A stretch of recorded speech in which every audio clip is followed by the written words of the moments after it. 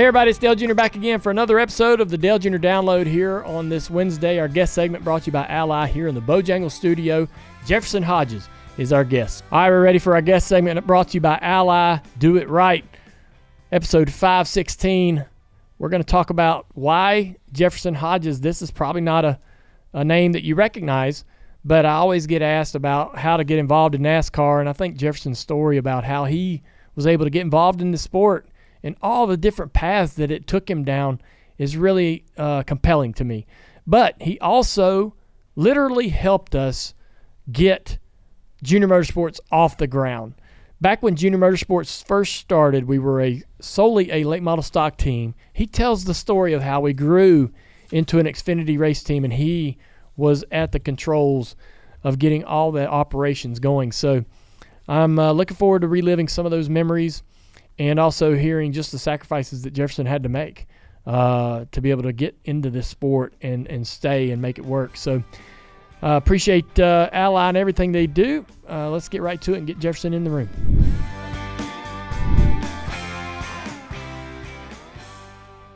Get up on that mic. All right. We're going for a ride. All right.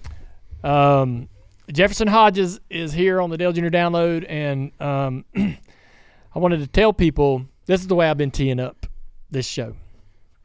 It's like we I know your story, and, and it's a great one. We're going to hear it, but um, I get asked all the time how to get in racing. How Yep. do you get in racing? How do you get in racing? How do what do I do? What do I do? And I think that you're a great example or story of this is how you do it. This is the sacrifices that you're going to have to make. This is this you know your path is not going to be perfect, and uh, and it will be with uh, challenges. Everybody thinks you turn in a resume and, and they call you and you show up and off you go. Yeah. Not yeah. like, not not quite that easy, is it? no, I've got one from Penske that said thanks but no thanks 20 years ago. yeah. And now, um, now you're a big player over there at, at Penske, helping them have a, a ton of success. But before we get there, um, I wanted to say thanks for coming in, Jefferson. Uh, I saw you in LA a couple weeks ago, and I was we got to talking, and I was like, man, I think it'd be great to get you on the show and talk about where you where you been and and and your story. And plus, um, one thing that's unique about you is you helped us get Junior Motorsport started. Yeah. Uh, I'd like to think so. Yeah, you Yeah. did, and so uh, you were a, you're a massive. Uh, we we leaned on you uh, when it came to to putting our program together, and I want to talk about that as well. But first off, man, from Williamsburg, Virginia, um, a lot of late model stock racing happening up and around that area. But uh, what was your what was your original connection to motorsport? So I'm from a semi racing family. My uncle raced growing up, not anyone in my immediate family. Yeah, So kind of grew up in and around Langley. Um, was a huge Elton Sawyer fan when I was a kid, Yep. and you know his cars were always beautiful and clean, and, and he raced clean, and and I just thought it was like pretty interesting the way he did it. Uh, but you know, just kind of kept up with my uncle a lot, and and as his career progressed, and I got a little bit older, I, you know, I could start driving myself to the race shop and and helping him a little bit, and and you know. I'm sure some of it was he was just being nice because he was family, but like he really started kind of leaning on me and and you know I you know I remember the first time he took my advice and and tried something and it worked and was like, dang, this guy's been you know winning my whole life and do you remember what that advice was? yeah, we were he was uh he was letting squaring up a rear end mess with him, you know, just because had struggling to figure out like why he couldn't get it square and Yep.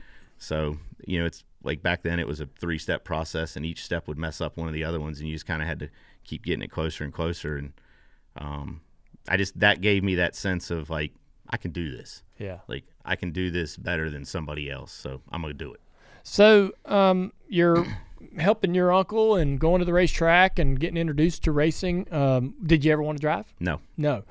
Um, you worked with. Uh, so was Langley sort of the only track you went to there for a while? Did you go to other racetracks? Yeah, I went to Southside on Friday nights. They'd run, and that was before you know Southampton came along, but that was like after I had already started kind of doing it for a living. Um, but Langley was always home.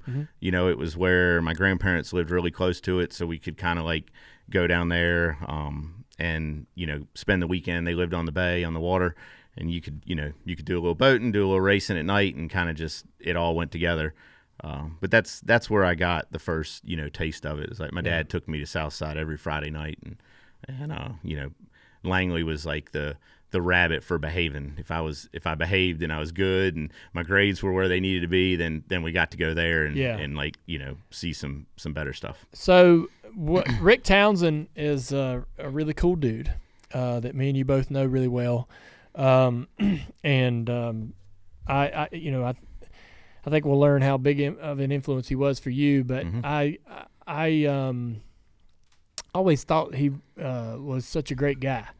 Uh, how how did you meet Rick? Rick is a Rick is, as we would you know as as we would understand him, or at least as I would know him, was a chassis builder. Yep. Um, but he was more than that. Um, Yeah. So talk about Rick and, and getting to know him and how you ended up over there. So Rick was a legend in Virginia and all the late model stock car world, and um, you know, kind of had like this whole other path even before he came to Virginia. He was, you know, him and Mike Beam were were with Butch Lindley when Butch was just tearing up short track racing all over the place, and um, he he had this idea to build these what was called a late model stock car, and you know, they started in 1982 at Old Dominion Speedway up in Manassas, Virginia. So there was really at the time there was two people that built them emanuel zervakis and rick and his partner ricky dennis. Um, so you know just kind of growing up in that area it was you know you either had one or the other. You were either a cowboys fan or a redskin fan like you couldn't be both. Right. um, and you know just through coincidence one of the cars that my uncle had when i was younger rick had built and I kind of just always remembered it. It was just better looking than the other ones. Like the you know the welds and the detail and the little things were nicer. And you know he would wreck it and and it would go to Rick and when it would come back it looked better than it did before he wrecked it. yeah. Right. So I graduated from high school, went to college, stayed close to Richmond. wasn't really the plan. Um, I had all intentions of doing a semester close to home and then transferring to Virginia Tech. And in the meantime, I found Rick's shop. It was close to school, and like just pure coincidence, drove Really? by it, saw the sign, and was like, ah, that's where I belong. So I went in and, and introduced myself, and I'll never forget it. I didn't actually meet Rick the first time I went there. I met Ricky Dennis. Yep. And I told him who my uncle was, and he said, "Man, I'm sorry." He was kind of just you know the way to break the ice. Yeah. Um, and I asked for a job, and I offered to come in at night and clean the shop and empty trash cans and do whatever, um, you know, just for that opportunity. And they said, "Well, man, we're not going to make you do that, but we are looking for somebody." And they needed someone to cut pipe, notch it, bend it for these roll cages that they were building around the corner. And you know, looking back on it, I've been better off emptying the trash cans. It was tough work, Yeah. but um, yeah, they gave me my start, and they were both Rick and Ricky both were just as adamant about me finishing college as my parents were. Um, I still lived at home when I was doing this, and that was kind of the deal. Like you're going to finish school. Um, so I worked part time for them for quite a while until I finished, you know, and, and graduated. And then once I did that, it was game on. Yeah. So, um, you know, what kind of person was Rick? I like I like to talk about him because he was Yeah. he was a special guy. Yeah, his story needs to be told more. Rick was like one of the coolest people you could ever meet. He was brilliant. Like there was he's bar none one of the smartest race car people I've ever met in my life. There was nobody's car that he touched that he didn't make better, right? Like he made he made people that raced winners and he made winners champions all over the East Coast. Um, but there was something about him that he wanted to share all this knowledge. You where a lot of these guys, especially back then, they they might have known everything that Rick knew, but they wanted to keep it close to their pocket and, and they didn't want to share it and they were afraid that, you know, the next guy was going to replace them or outdo him. And, and Rick was just wanted to share with whoever would pick up the phone and call him. You didn't even have to have one of his cars. Like, I mean, that was his way of selling stuff was making somebody else's race car better. Yeah. Um, but he didn't care. I mean, he obviously cared because he had a business and he needed to pay the bills. But making money wasn't why Rick was in it. He just loved racing and he loved helping people. And and I don't, I never really got a straight answer out of him what it was about me that that he latched onto. But I mean, it it was unbelievable, and I wouldn't I wouldn't be anywhere without him. So you worked there for about four years. At the same time, um, you're you started calling Tommy Baldwin, yeah. right? Who's working at Junie Donlavey's team. Yep. Wh- how did you get his number? So they there was you know like in Richmond there was three games in town, right? You either worked for Rick Emanuel Zervakis, and if you went cup racing, you worked for Mr. Donlavey. Um, and there was there was two guys that worked with me at Townsend. Um, they were they were great fabricators, um, still very close friends of mine, and they both left and went to work for Junie. And honestly, it really hadn't crossed my mind at the time. I was still pretty young. I was like 19 years old, barely 20. Um, and I thought, if they can do it, I can do it. I just need a chance. I just Yeah. need someone to give me a chance. So, looking back on it, the fact that Tommy, we went on break at Townsend at 9:45 every morning, and every Monday morning at 9:45, I would call Tommy Baldwin and ask him for an interview. And I'm still to this day convinced that the only reason he gave me the interview is so I would stop calling him. um, but think about it now. There was no private planes back then. Junie was barely flying commercial back then, and this guy was at work at 9:45 on Monday mornings, no matter where they raced. And like now that I look back on it and think about it, it's like that is more impressive than than even you know my opportunity. Just the work ethic that that dude has is crazy, and he still has it. Like, um, but yeah, went up there and and uh, it's kind of turned out to be a funny story. I was super nervous. Like went in there and like you know it's cup racing, man. It's like the coolest thing in the world. And we sit down and we talk for a little bit, and we go in the back, and he said, "I'm gonna give you a welding test, and and here's the deal: if I can weld better than you, don't ever call me again. Yeah. If you weld better than me, then you got a job." So we go back there to the welder, and I had my welding helmet, my glove, and like, if nothing else, if you welded for Rick Townsend, you're you can weld better than anybody, Yeah. bar none. Uh-huh. So I knew it. Like I had it in the bag. had it. you got, I got you, I got you right where I want you now. So he, you know, he made a valid attempt, and and then I, you know, then I did mine, and and I got my job, Yeah. and it was cool. Damn. Yeah, How long did you work there? about a year and a half. Yeah. So I worked there all a '98, half a '99, Who was your driver? Dick Trickle drove in '98. Had Heilig Meyers. It was the last year of that. Um, and you know, at the end of the season, the Heilig Meyers company ended up shutting down. Um, very soon after that, and Trickle went on his way, and and uh, after that, it was kind of like you know they had the Duke's mayonnaise deal, the Sauer's company, and Hut Stricklin drove it. Hut was a great dude, and he was a ton of fun Yep. but you could kind of see the writing on the wall.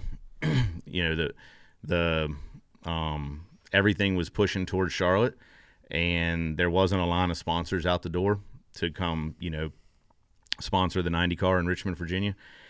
So, kind of looked around, and you got 30 really talented guys, and they've all got cup racing on their resume now, and there's not a lot of other people in Richmond that do. And it was like, I got to beat these guys back to work for Rick before Oh. the floodgates open and this place shuts down. You needed to go back to Rick Townsend's Yep. because you thought there'd be a heavy competition for I, that. yeah, and I knew there would. That Um, or they were all going to have, you know, the, the son might move to Charlotte to try to pursue That's right. opportunities there. and and Charlotte to me still wasn't in the conversation because even though I was pretty well rounded from working for Rick, it was still at a late model level. You know, we built some Xfinity cars, some trucks, and stuff like that. But like my niche was late model racing, was short track racing, um, and and working for Junie, you get to do a lot of things.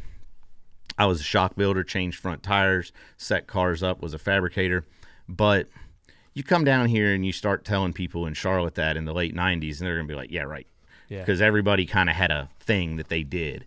And and I didn't want to be that guy. I didn't want to move to Charlotte um, away from everything I knew Sure. just to put rear windows in a stock car for the rest of my life. Like as cool as it would have been. So I made a little attempt at it. I talked to some people down here. Like, you know, Ricky Rudd was obviously local legend, knew some people that knew him, came down here and talked to him and Waddell Wilson at the time and um, applied at Penske just because it was Penske and and um, you know either didn't get what I thought was right for me or didn't get anything and went back to work for Rick Yeah. um, and that was kind of the deal with him and I is like I want to be able to do this, stand on my own two feet, and that's what we did. What do you remember working with uh, with uh, Dick Trickle? I, he was a pretty interesting guy. Like, I mean, he was, you know, he was kind of the guy that would which it was a little bit different back then. It wasn't, you know, the drivers weren't as private. They were, you know, they stay at the hotel with you and they kind of ride around. But like, he just wanted to be one of the guys and race. Um, you know, a lot of the, you know, like a lot of the rumors you hear about the briefcase with the hard candy and the extra cigarettes, like are they were true. Yeah. they're real. Um, but the the coolest Dick Trickle story I have. 1998 was the 50th anniversary of NASCAR, right? So they changed the logo for like the first time. Now they do it all the time, but now it, that was the first time we had ever seen a massive logo change, and it had the 50th anniversary in the gold. And the last race of the season, he had two different fire suits depending on whatever the uh, paint on the car was. One was solid white and one was black. The white one he gave me after the last race. Like took it off, balled it up, handed it to me, and said, "Here, thanks." And it's like I still have it to this day. Like, it's just cool. Like Yeah. it's got the little zipper, you know, where the cigarettes and the lighter lived. It's got his name on it. Yeah. His 50th anniversary, and like it just to be that young, 98. So I was 20, and and to have Did you have thing- the Did you have the lighter inside the car? the lighter was in the car. Yep, Or how, how it was on the door. So what was the what was the immediate reaction when when you got when you went to the race shop to work there the first time and somebody said, "Yep, uh, got the checklist. Uh, yep, got the lighter in there." Like no race car, no other. That's the only race car in the history of NASCAR.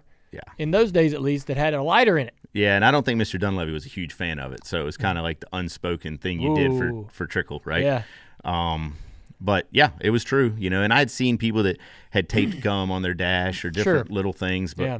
but yeah, that was uh, it was real. And, Wild. Um, you know, obviously there was places that he didn't use it, like a road course where he had his hands full or something. But um, Didn't think about that. yeah, open face helmets and and he did actually convert to a closed face helmet for a couple races like later in that year. Yep. And it it kind of kiboshed that, but um, it was real. it was real. That's awesome.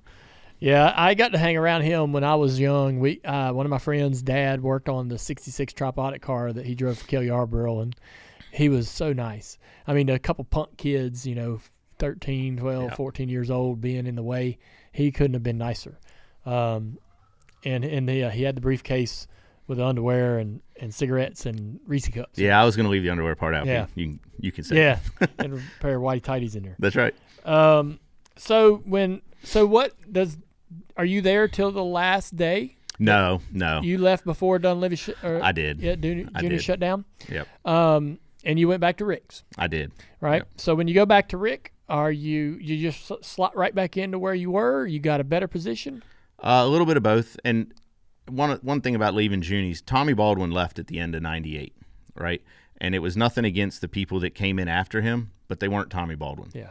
Um, and I felt like for a year I was drinking from a water fountain, like a big garden hose, like just learning so much. So it wasn't just about leaving Junie or or beating the mad rush that I did see coming.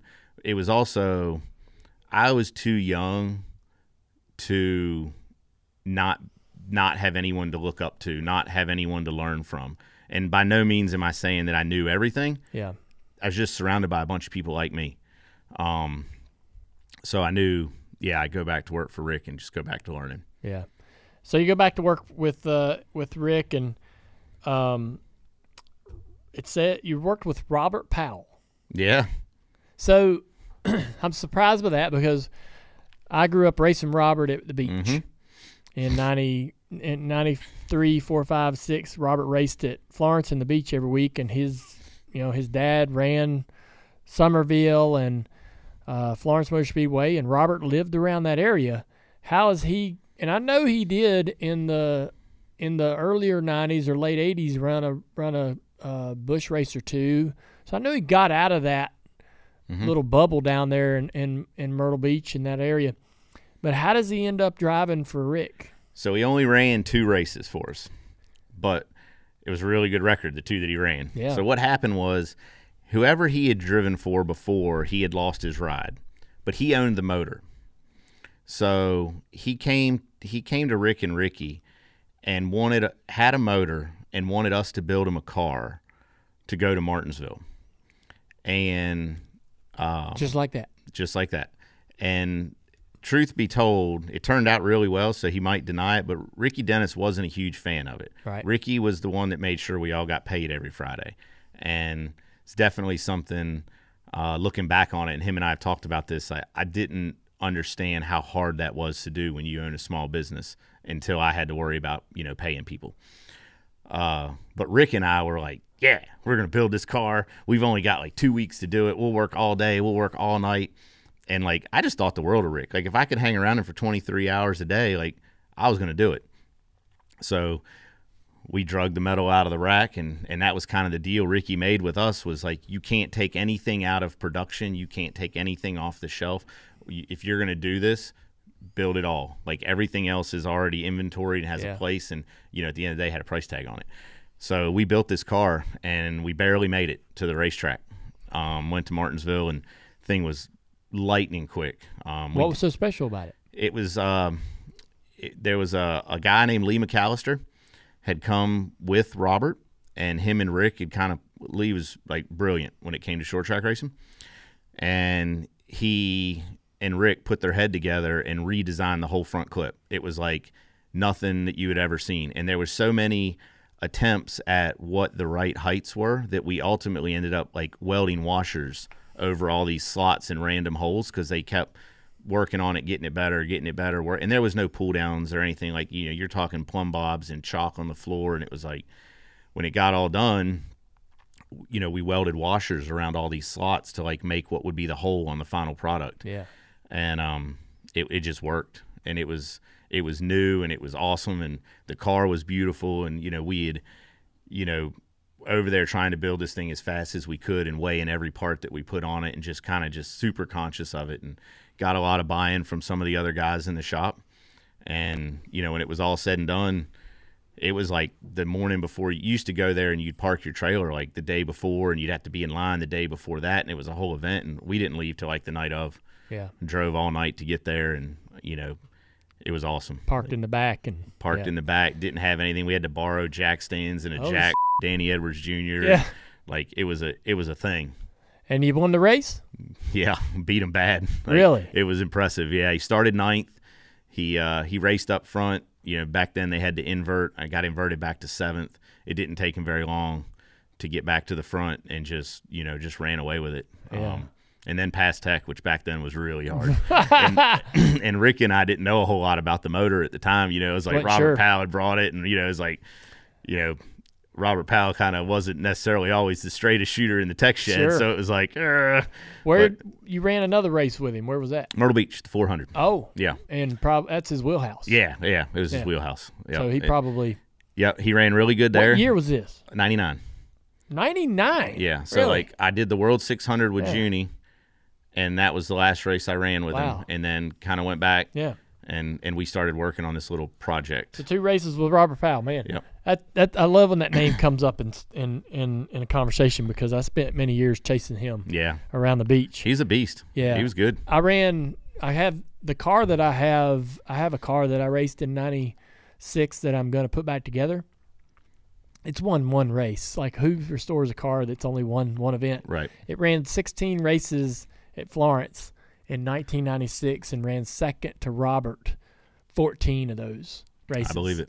Uh, you know, when he was, and so that we won a race. I come home, walk in the shop, put the trophy up on top of the Lance Cracker machine. Well, first thing I want Dad to see when he comes home, comes in the shop that morning. He walks in, looks up there, sees the trophy, and the first thing he says is, "Was Robert there?" and I was like, "Yeah, he didn't. He wasn't there, Dad." he goes, "Well, you didn't beat him. Was he really not there? He wasn't." Oh, He was there that night, and we won. But um, yeah, I uh, Robert Powell, Charlie, and, and, and that whole family, man. It's uh, it was it was it taught me a lot racing against them because they were so hard to beat. So um, you around this time you get to work on Mark McFarland's cars.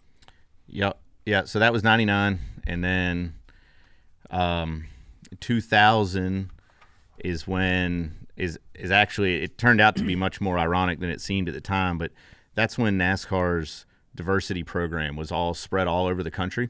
Every there was different race teams that represented each one of these drivers, and at Townsend, the house car, we had an opportunity to be one of those um, through a guy named Sam Belnavis that was you know a player at, at Roush at the time And Rick came to me after this Martinsville race and said, "I think you're ready to to crew chief this car and and to take care of it. And we're going to build it, but we're going to keep it here and we're going to race it all season and you're going to be responsible for everything from the truck to the drinks in the cooler to the car itself." And so that was my first real opportunity to do something like to crew chief something to be in charge of something to have something that was mine mm-hmm. you know sink or swim and and rick didn't let me do it by myself he he was there with me um, but it was kind of my deal so we had some luck with that we actually won um, at uh, in jacksonville north carolina um, it was the first race that program had ever won and then that lured mark the fact that we had these house cars now because Mark was kind of like uh, at the time in 2000, 2001, he was like, he was going to drive for whoever had the hot lit car at the time or whoever was going to help him the most because they were trying, it was a family run deal and they were trying not to spend everything they made. Um, and we never could get him in one of these Townsend cars because that was like, that was definitely one of our things. We didn't give anything to anybody. Like everybody paid the same price. Nobody was getting anything for free. Like we didn't, Rick and Ricky didn't feel like they had to give anything away to put the best in their cars. Yeah. So once there was this house car program and there was a little bit more to it, that's how we got Mark in the Townsend car. And and then Mark and I, you know, were the same age, had a you know, really similar ideas on what we wanted to do with life, which was nothing but race. Um, and we were both willing to do no matter what, no matter how much work it took. It was kind of unspoken. It just happened. But he never left my side and I wasn't leaving his and we just won everything there was to win. Yeah, y'all uh, won the national championship together. Mm-hmm. Um, Mark McFarland would would end up driving for Junior Motorsports um, at, at one point in his career, and then he goes on later uh, in his career as a really successful crew chief himself mm-hmm. in the K and N series, and, and and working with Ty Gibbs and other drivers. Um, but uh, you, Mark moves to Charlotte.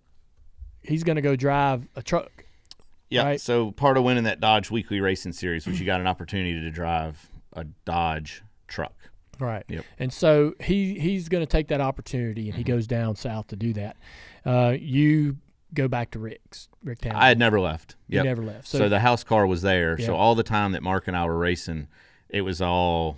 That's why I say you, you we worked. Yeah. It was all at night and on the weekends. I still worked seven to five and building then, chassis uh, for Rick. yeah. yeah. And so um, I bought a car from y'all. Mm-hmm. I've been racing y'all Rick's cars since the mid '90s, but yep. I bought a car from y'all um, because of my appreciation for, for Rick and and and and Ricky Dennis and and um, just the good quality cars that they were. Uh, we started racing TJ Majors. Yep. And uh, we ba- we basically so we built a street stock car for TJ. He ran that for a year at Concord, and then we're like, all right, it's time to go late model stock racing. We'll buy a car. Willie uh, Jackson, my my my mom's husband, was gonna manage all that for me, and we'd send him down the road to race. Um, we had a lot of different people trying to help make that thing work, and we struggled. Yep. Um, I didn't know much about how to get them to where they needed to be, and um, uh, we would bring the car to you, uh, and and you would always kind of straighten us out. Yep. So so help help me understand where we are at that point. Yeah, so we built that car, and I remember the first time we went and tested at Orange County, and had Timothy Peters yeah. drive it first, and it was like TJ wasn't that much that far off no. Timothy, and and at the time Timothy was like the guy at Orange County, so we all kind of left with you know some high hopes, and um, it was you know I, I've described it before as it was kind of a, a cycle we would we would get the car and kind of hand it off to you guys, and TJ'd go run third, and then he'd run fifth, and then he'd run eighth, and then the phone would ring, and we'd get the car back, and then he'd go run second, and then he'd run fifth, and then he'd run tenth, and then we'd get the car back, and you know. TJ called one day. I'll never forget it. I was had a wheelbarrow full of door bars that like I was putting on the shelf because at the time I had transitioned to you know building chassis, but I was also like kind of in charge of a lot of inventory and dealing with customers and you know now we have portable phones and so like I wore one at work and when the phone would ring and someone needed setup advice like Rick was you know overwhelmed with there was too many people calling now like it, the business was really running. Yeah. Um so I was kind of doing parts of, of that and the phone rings, and I answer it, and it's TJ, and he was looking for someone to come work on his car, and like there was a part of me that meant it, and there was a part of me that was just being a smartass, and was like, I'll come do it, and was like didn't really think much of it, and he asked if I was serious, and I said, yeah, sure, like, you know, I, at that point I felt like, um, not that I needed to cash in on the success that Mark and I had had, but Mark was down here in Charlotte and I wasn't, and it was kind of like driving me nuts because I, you know, I knew that that we were capable of doing some some great stuff, yeah. not just me and him, but like him and then me. Um, so I needed to go. So like like I said, part of it was being a smartass, but part of it I meant. And luckily, somebody else called me back. Who? Your sister. Yep. Yeah. So. Kelly calls you and y'all sorted it out. I mean, how hard was that decision? How hard was it to go tell Rick? What what were their thoughts? So, yeah, it was it was it was interesting because like we had done a bunch of not a bunch, but we had done quite a bit of testing with Kelly, right? To where like I didn't um it wasn't that strange to be talking to her on the phone, right? Like we had gone to South Boston and tested with her when she drove a couple times, so like I knew her a little bit um to where I was comfortable enough to like talk about all the things that you know concern me. Yeah. Um, and and you know, truth be told, like I don't have to tell you this, but you guys took really good care of me during that whole process. Like I was married and owned a house, and um, you know, made us feel like part of the family from day one. The it the hardest part, even harder than telling my parents and my sister, um, was telling Rick. Like I couldn't get the words out of my mouth. Oh my gosh! Like the earlier, you know, in in '98, like it was the the comp. You know, I didn't have the position I had at Townsend when I left to go work for Junie, um, and the company wasn't doing like competitively. It was always doing well, but it wasn't doing as good as it was the second time. Um, I felt like I was leaving him and Ricky in a pickle, and um, you know, that was hard. Yeah. Um, Rick is this bearded, big, big dude. big dude. He's like Santa Claus. Yeah. It's like a, one of the elves Yeah. telling Santa Yeah. he's gonna have to leave. But He actually told me when I told him why I was leaving that if I didn't leave, that I wasn't near as smart as he thought I was, and that he would fire me. So, so it definitely it ended like you know relieved, but I I'll never forget it. I sat in his office. He had a picture of him and Mike Beam and Butch Lindley like down there shopping Greenville behind him. from the from the late yep, from the long time yeah, ago. from the early '80s, I guess. and it was like it just I don't know what happened, but nothing would come out of my mouth, and like you know just tears, and Yeah. it was a mess. Like I felt like I was leaving my own dad. Oh yeah. Yeah. All right, so um, you come to Mooresville. Yeah. All right, what was your first impressions when you walked in the shop? I mean, you you weren't unfamiliar with the shop, but No, and and I don't. It's hard to explain without sounding like you know you ain't gonna just hurt my feelings. Forget I'm here. No, it's not about you. It just it there was nothing about it that I didn't think that this was just going to be easy. Like it's just a late model. It just had a different address, right? We were going to go to the same racetracks. We were going to race the same people. Um, you know, now we're just going to do it with TJ. Yeah. And and the car is orange and instead of red. But Yep. like it was the exact same car. I literally built that car, like the chassis from the ground up, the rear end, every piece of it, other than the internal parts of the motor. I built it, so I knew it like the back of my hand. Um, you know, I knew, and nothing against anybody that had worked on it, but you get a bunch of people that are, you know, that friends and they all want to come help. They've all got different opinions, and you kind of mix it all together, and it's just not going to work, right? It's like individually, any one of them probably could have made that car go faster, and that was kind of the opportunity that I had. There was nobody else. It was just me. Like I was in that room by myself, me and Willie, and you know, Willie was like he was willing to do anything I asked to help, but he wasn't going to tell me Sure. what to do on the car No. um, and he didn't, which I really appreciated. Like, and you know, it it probably didn't go appreciated enough that he let people do their jobs, but I changed everything and just put it back. But I knew what was right. Like we had won car with races with those type cars all over the country. So like, it sounds arrogant, but I didn't come down here with like there was not an ounce of me that was nervous. I just wanted to go racing. Yeah. How'd it go? it went pretty good. I think uh, I think it was the fifth race we ran. We went to South Boston for that was kind of the deal we made. You didn't want us camping out at a racetrack, so I was a little jealous when your late model program progressed, and then you guys started camping out at Hickory and all these places. it was like, dang, we had to move all over the place. So we uh, our deal was three races and then move on. So we went and ran our three at, at South Boston and progressively, you know, better each week. I think, you know, TJ got to understand me and, and he was, um, you know, he was like that part of his career and his age where like trust was a big thing. Yeah. And he was trying to figure out who he could trust and who he couldn't.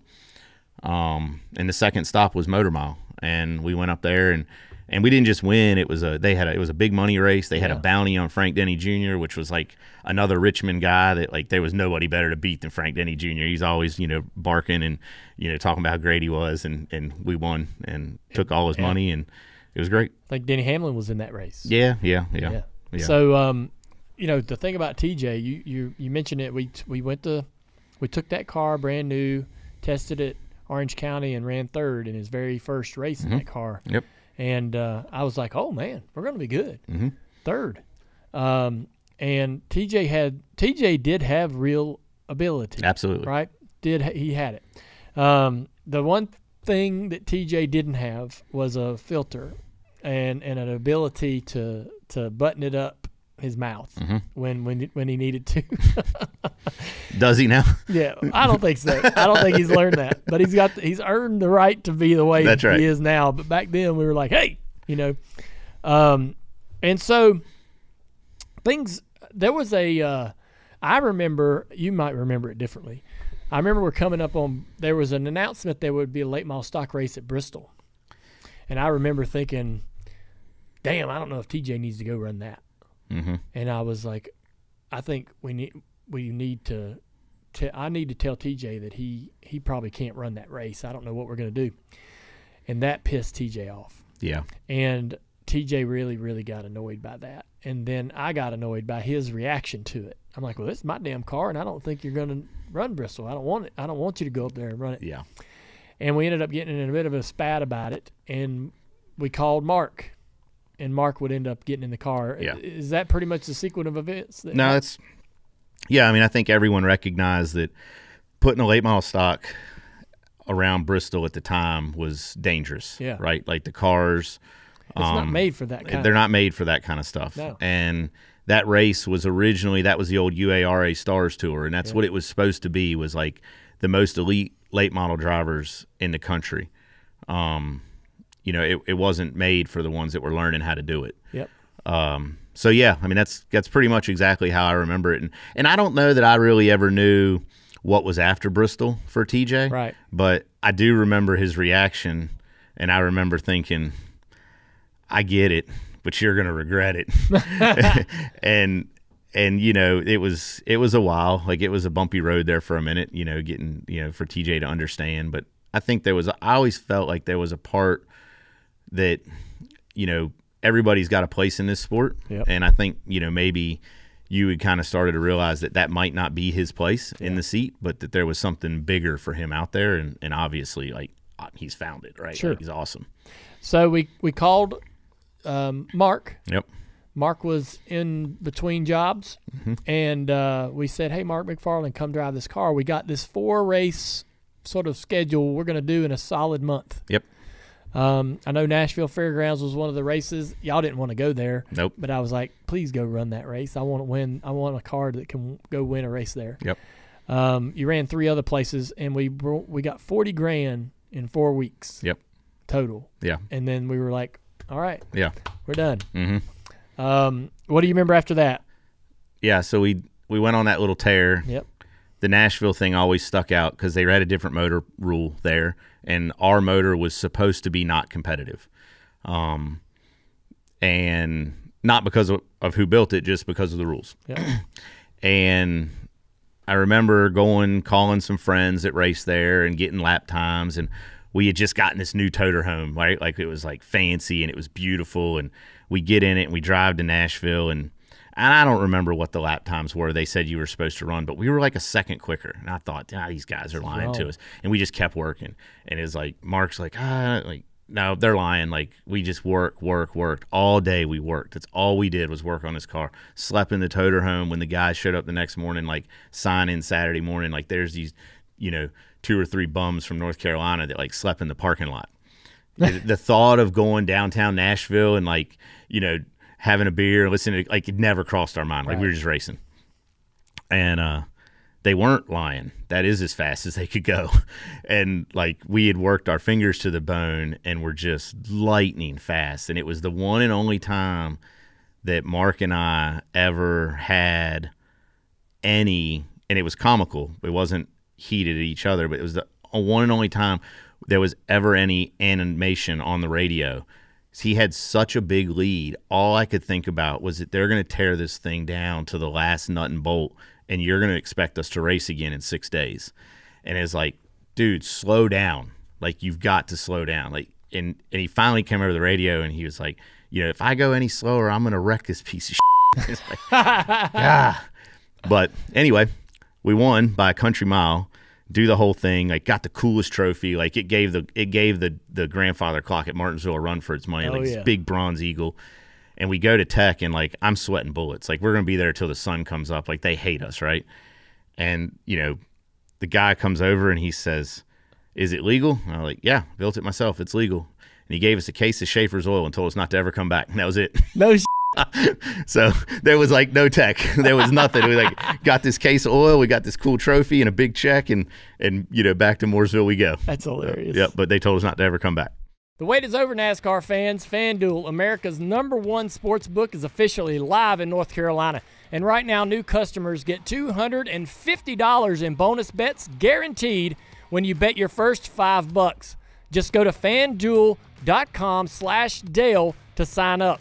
Then you can bet on everything from individual race winners to prop bets to which driver's going to take home the championship, all on an app that's safe, secure, and super easy to use.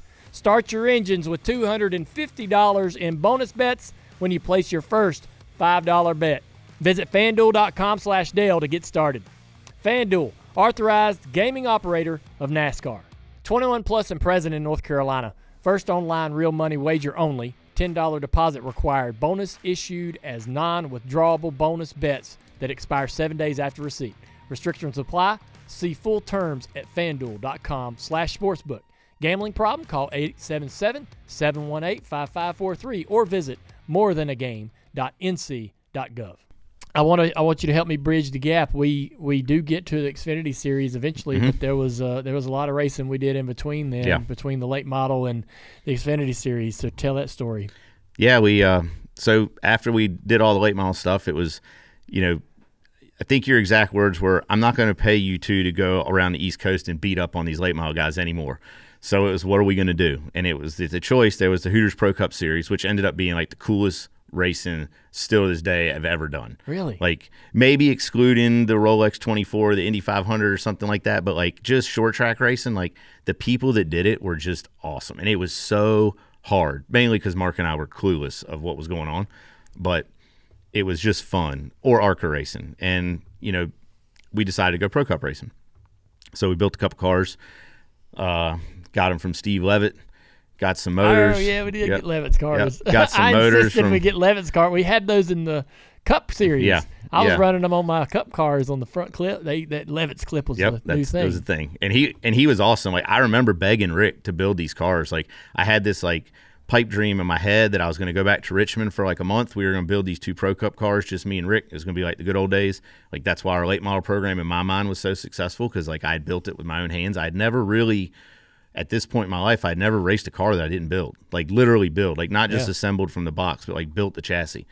So there was a part of me that was a little leery of like how this was going to go down, and I just Rick wasn't having it. Like he had built Pro Cup cars before. Um, he had kind of been burnt by the rule book. Like we had before I moved here, like the most dominant Pro Cup cars there were, and they changed the rule book and made them illegal. So he was just not going to deal with it.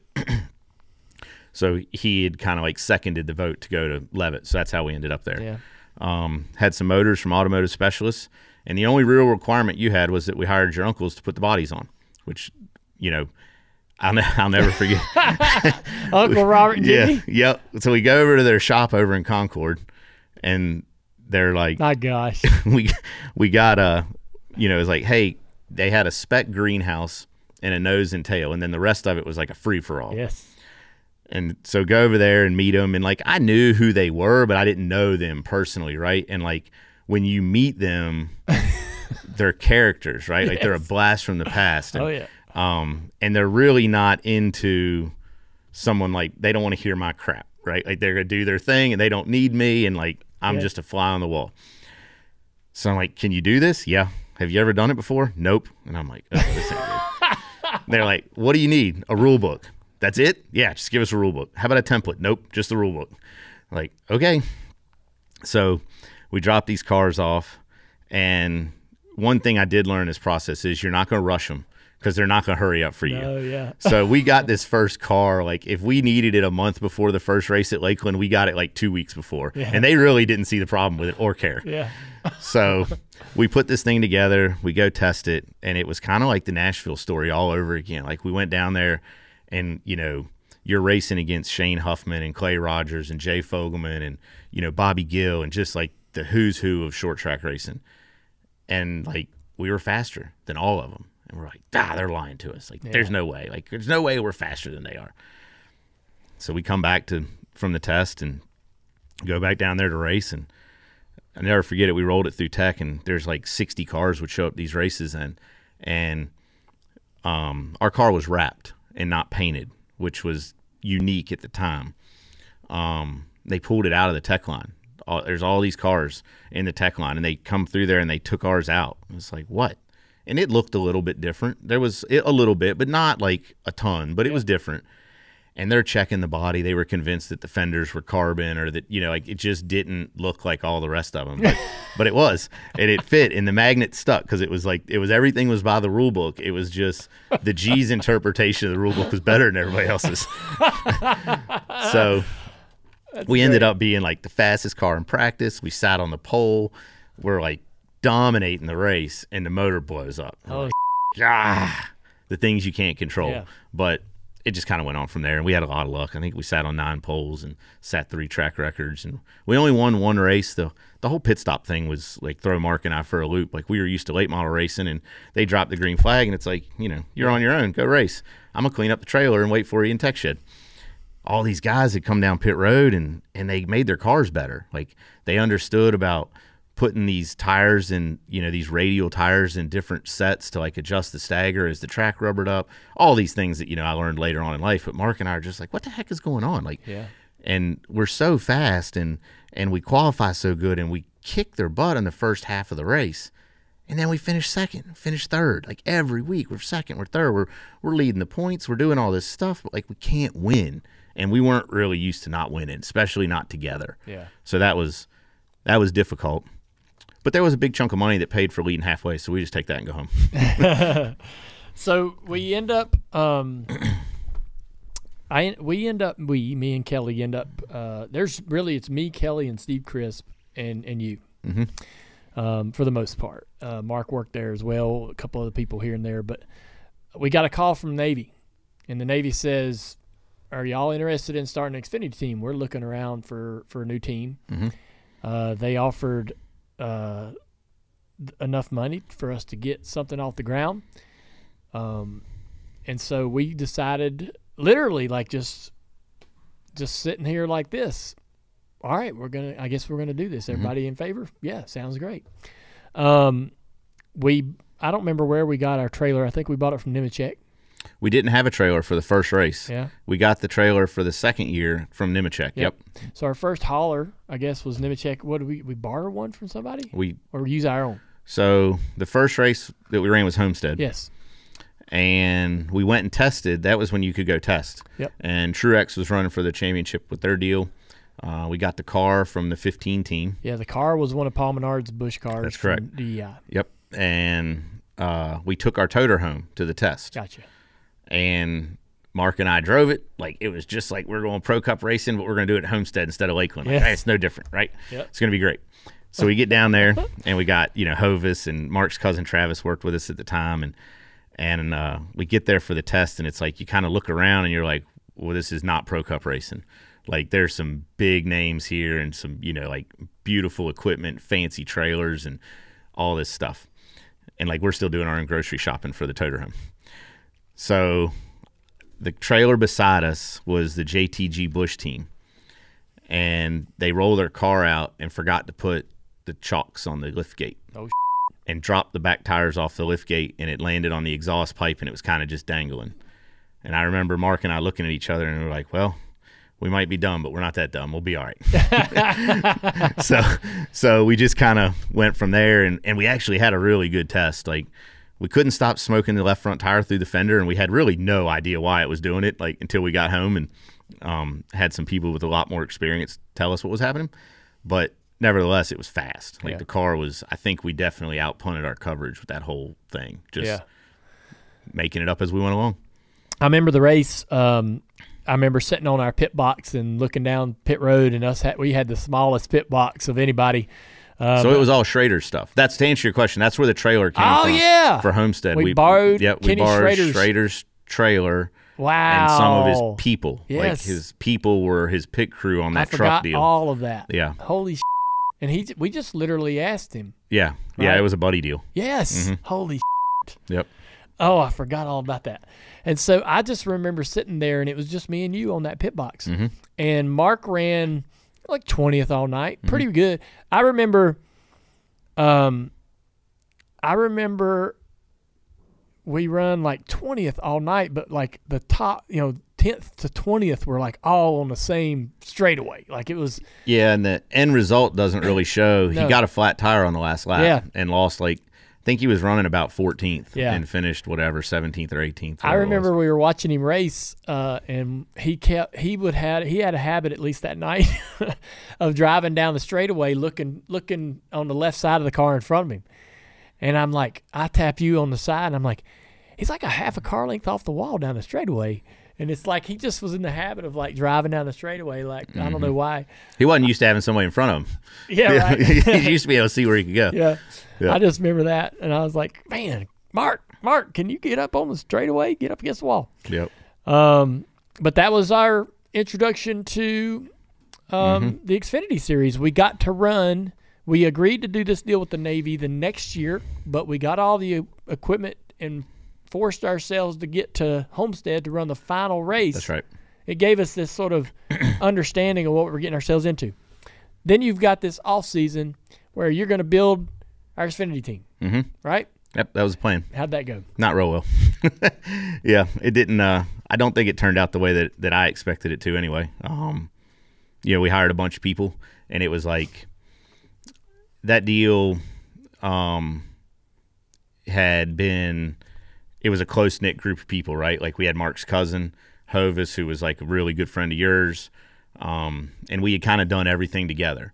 And now there was all these new people um, that had come in, and individually, like some of them were great, like some of them were, you know, like really good, but there was others that kind of, you know, they didn't necessarily want to listen to someone as young as me, right? Yeah. Like that was the roadblock. Like, you know, what have you done? Nothing, but we're going to do something. And it was you, you couldn't really understand the people that were coming from these big cup teams. You know, like Dale Jr. started an Xfinity team. You could get people from anywhere you wanted, right? Like people were quitting big teams to come work there. They didn't want to listen to a guy that had late model stock car raced his whole life. Yeah. So, you know, it was tough. Um, I remember, you know, I'd spent a lot of time with Robert and Jimmy because by then I had kind of gotten close with them, and and you know, I think they knew that I was serious and that that I could do this if I'd just be left alone. Um, and and you know, there was some there were some people that that got opportunities, in my opinion, there that honestly didn't deserve them. Um, and then it didn't take long to weed them all out Yeah. but I wasn't necessarily there for all of it. But they all they weeded themselves out. The ones that belong there are still here. Yeah. Yeah, Uh, so midway through the year, Mark gets hurt. Yep. Mark's driving the car. Um, we're actually getting a little traction. Mm-hmm. You know, um, you're starting to see a bit of uh, light at the end of the tunnel. Right. But when Mark gets hurt, it was a big setback for the team. yeah. What do you remember about um, your final, you know, six months with Junior Motorsports? So I knew that Mark getting hurt was a bigger deal than just Mark getting hurt. Like physically, he was going to recover for it from it, right? Like he had he had been hurt in cars or in life before, and, and he was fine. The problem was Martin Truex Jr., who was a two-time Xfinity champion, and Robby Gordon, who would drive the wheels off anything, were who was going to replace Mark. And the experience alone that they had was going to help accelerate everything, right? Like maybe the fact that the cars weren't being set up correctly was going to get exposed. Maybe the fact that the crew chief might not have been the best person for that job, Truex was going to expose it. Where Mark didn't know. Mark didn't know what was right or wrong. Like that's Yeah. how him and I had raced. Like we just raced and learned as we went. so all these things were going to get they were getting ready to come out, right? Like everyone that that that was pulling the wool over their eyes and pointing their finger at Mark, which there was a lot of it. Um, they were getting ready to get exposed, and all this stuff was magically going to get fixed at the expense of Mark's injury, right? And honestly, at the end of the day, that's kind of what happened. Yeah. So why did you decide to leave? What happens? Um, I don't think it was 100% my idea. Yeah. Um, it wasn't in the plan for sure. Um, but you know, once you guys had released Mark, there was obviously I took it personal, right? Like it was, it was. Um, I didn't.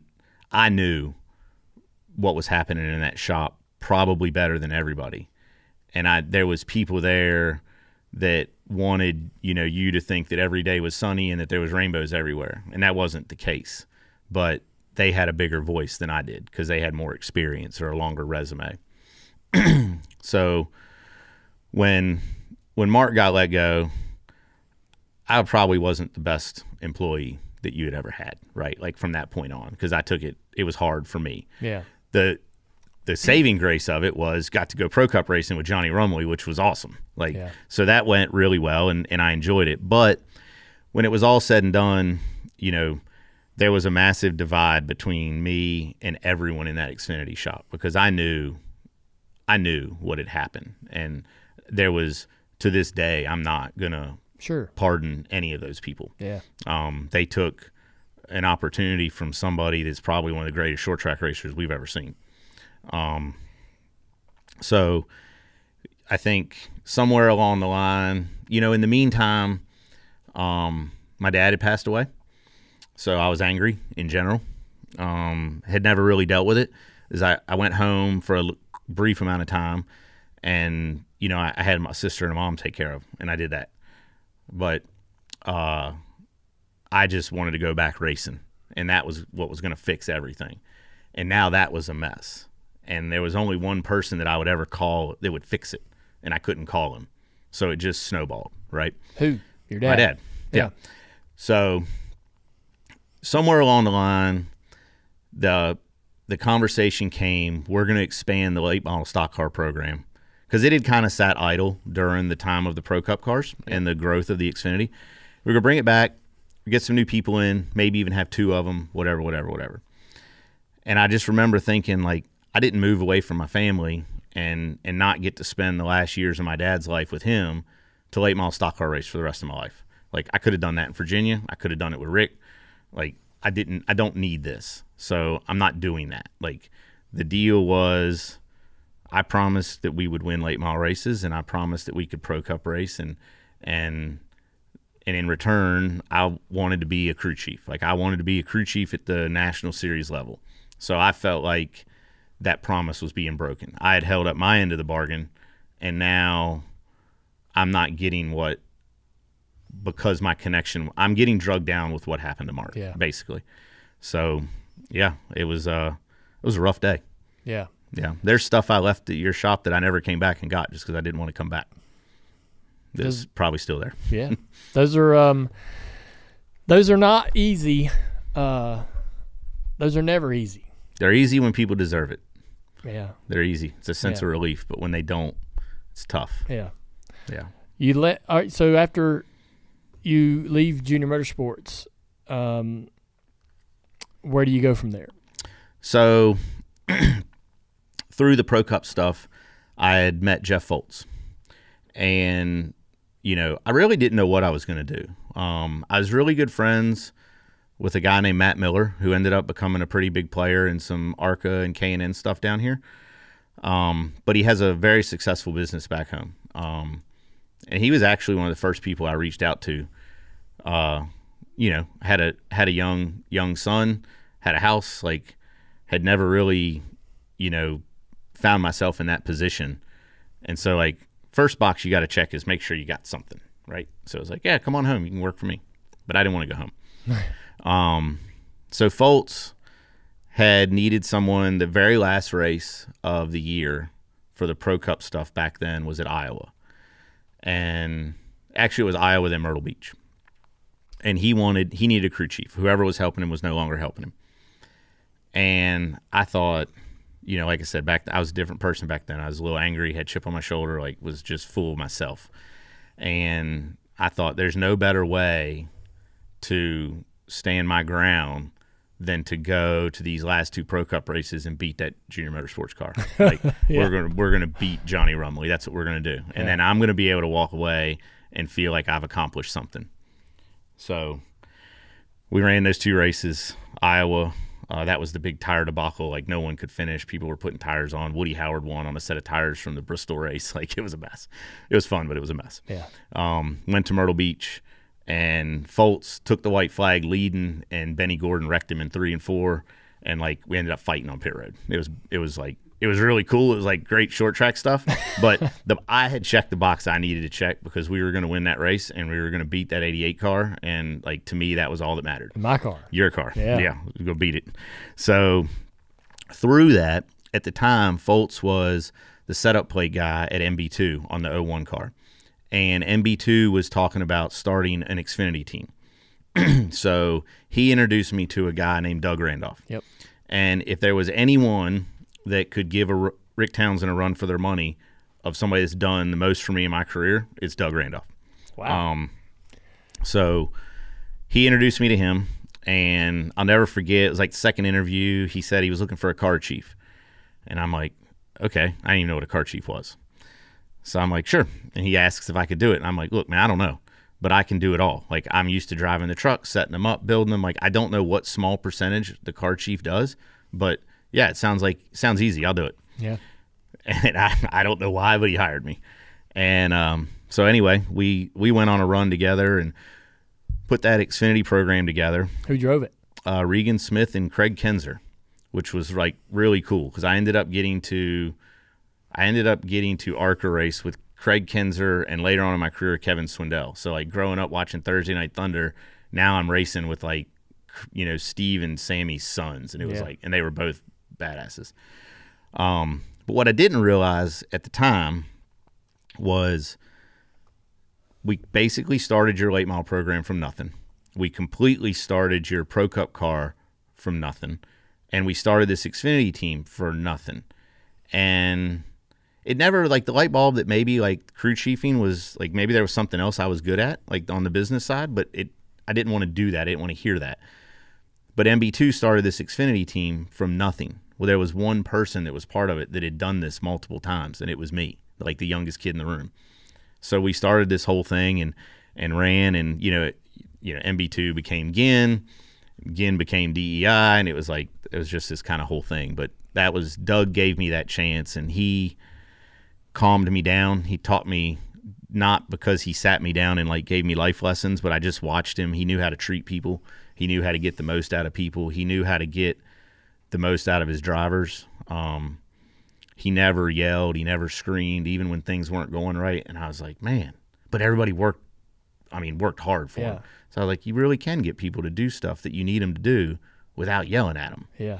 and so like it was he's still like one of my closest friends and you know now i think when when there's that question that that like i would have called my dad for like i'm gonna call doug now So and i think i'm on a list of a lot of people that do that Yeah, you were. I've heard a lot of great things from about Doug, and um, he he is well respected in the industry. Uh, Ganassi ends up becoming the owner of that whole program, and, Mm-hmm. and you're still there. So you went through all of those changes from from Ginn to DEI to Ganassi. yeah i think one year i had four w2s and never changed desks like from all different ones but Yeah. yeah. so we you know I ended up um i ended up being sterling marlin's cup car chief on the 14 car Yep. before the original merger Who TJ's a spotter for? TJ was spotter. yep. Yep. So it goes full, Full circle. Circle. don't burn a bridge. That's right. Um, and then when they merged with DEI, they put Doug and I on the 15 car with Paul Menard, which was which was great. Paul's a great guy. Like that was a lot of fun.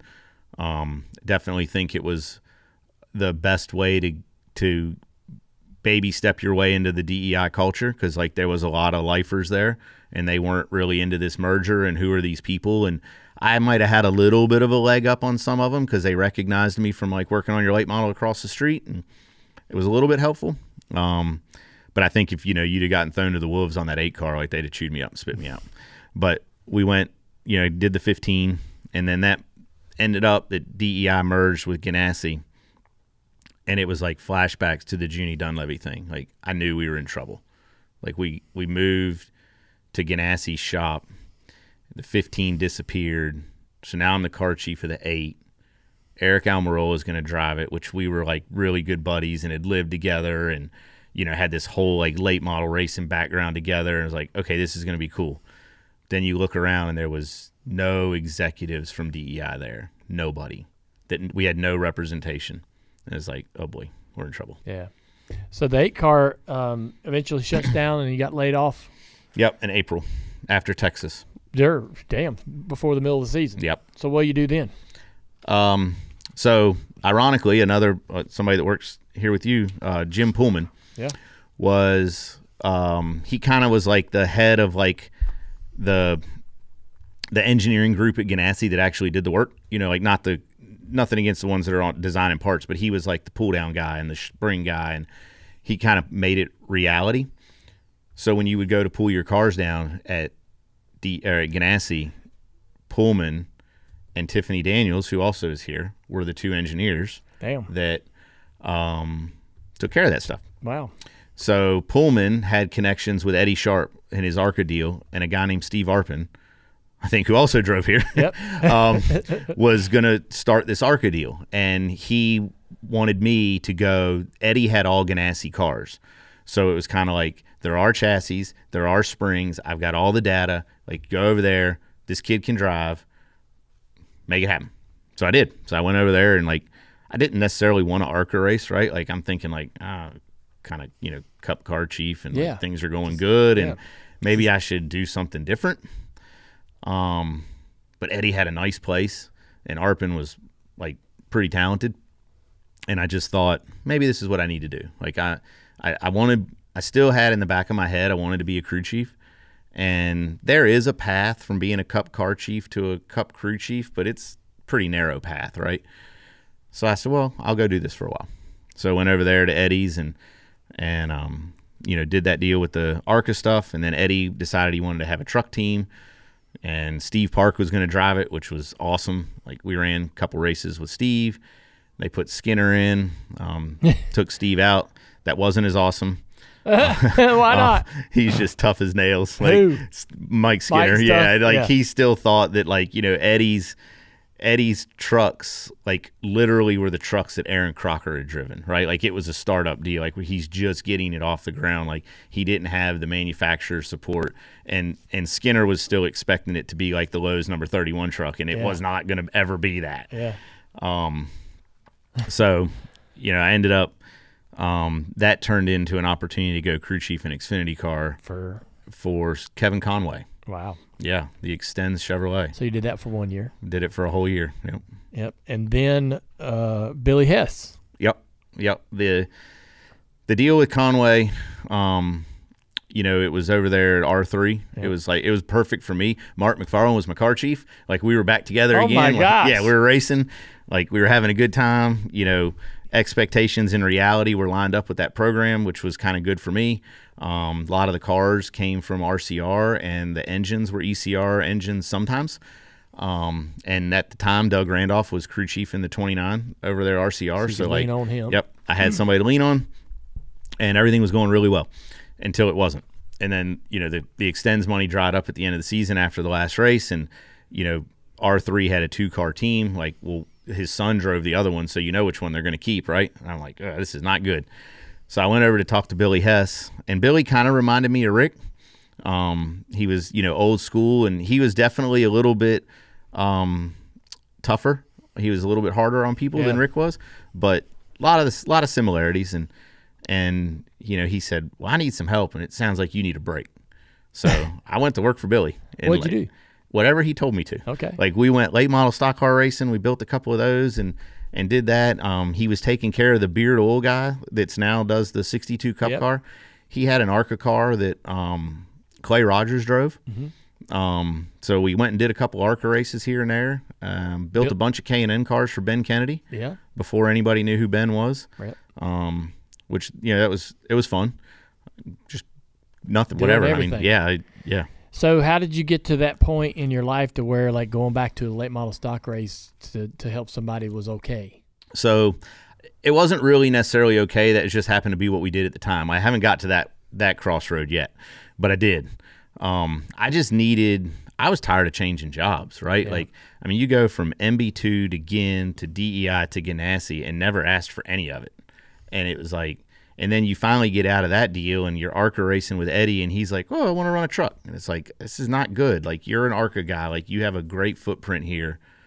Don't mess it up." Yeah. like but we're gonna go try to truck race and mess it up and that's what happened um so i was just exhausted like i just wanted to go have fun again so anyway while i was at billy's the phone started ringing um and and there were you know i didn't want to go be a car chief again right like nothing against him um i just i felt like i had done enough since i had done that that wasn't what I wanted to do.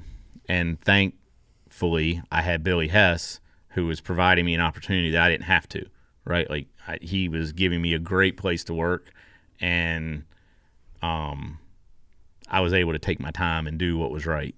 But that's when you know that's when the the whole eight mile crossroads came when Max called back. So Max um, is uh, Max Siegel, the the the owner of Rev Racing. Yep. So he calls you and he knows you because of the DEI days Yep. when he was general manager at DEI. Yep. He says, "Hey man, I got this general manager position at Rev Racing. Mhm. That's not crew chief." Um, so what what was in what was enticing about that idea?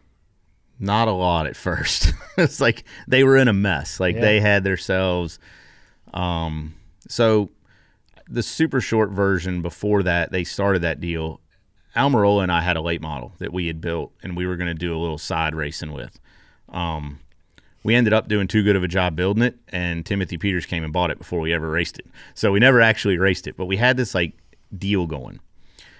Um, this is when John Story and Max were going to put this Rev Racing, and if you go back to the diversity program being all over the country with different race teams, that wasn't working. There was no way to compare the drivers to each other because you didn't know what opportunities they were getting when they're all over the place, and even what kind of cars they're driving. Someone would be driving a modified, the next person would be driving a super late model.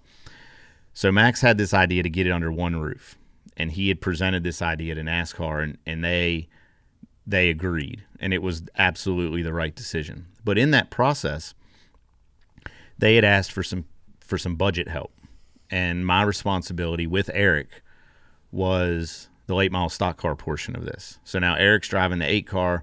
Max knew from us working at DEI that I had a deep rooted background in short track racing, and you know really probably is and still is where my heart is most of the days.